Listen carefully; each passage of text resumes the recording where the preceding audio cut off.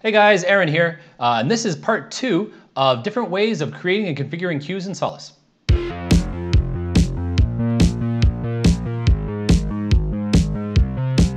So in my last video, we made uh, this queue here using this sweet GUI tool, the PubSub Plus Manager. Uh, in this video, we're going to do it programmatically using our management API called SEMP, or Solace Element Management Protocol. Probably the easiest way to find out information about SEMP is to simply type in Solace uh, SEMP into your favorite search engine and just follow the links.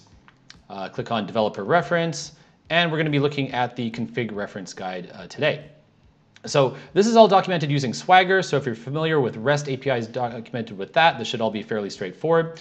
Uh, it outlines the various uh, HTTP verbs or methods that you can use for interacting with Solace objects, uh, post to create an object, get to get some information, delete to delete an object, obviously, patch will do an update.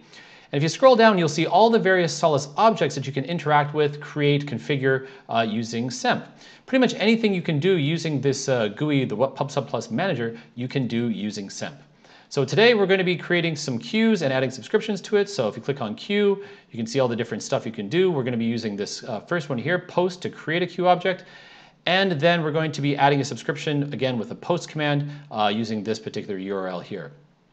Now I have it pre-configured. I got some, uh, some uh, I'm using curl. Of course, you could use Postman or any other kind of REST tool to inject uh, these uh, commands. Uh, you'll see I got my URL with uh, config message VPN. Aaron's the name of my VPN. And the name of the queue is testq2. it's going to be exclusive. Give it a 200 megabyte quota and enable it for both ingress and egress. I go ahead and I paste that into my shell. I get a 200 OK. And if I go back over to my Web Manager, click on refresh, you can see that indeed I now have a test queue too. Doesn't have a subscription though, so let's add a subscription to it. Uh, again, using uh, curl, I'm gonna go ahead and programmatically add a subscription of hello slash greater than uh, onto my queue.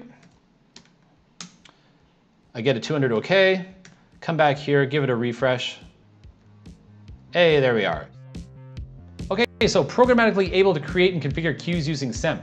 And because it's a fully RESTful management API, it allows easy integration with tooling like uh, Chef and Puppet and Ansible uh, for kind of configuration management. I'm gonna put some links down in the description down below in case you wanna do a little bit more research on SEMP. But uh, have you thought of a third way of doing uh, creating queues and configuring them in Solace? If I gave you a hint and said it was a bit more interactive, uh, would that help?